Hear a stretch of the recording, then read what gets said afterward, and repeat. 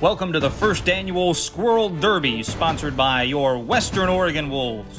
Our teams today are playing for the elusive Acorn Trophy, and the field looks ready to harvest. Red team off to a running start. Oh no, black team starting on the asphalt. Here's a red team, and yes, that's red team with the first score of the day. Here comes a black team flaunting their own score. We go, red team moving to new ground. But looks like they're going to come up empty. Here's a black team again, and looks like, yes, another score for the black team.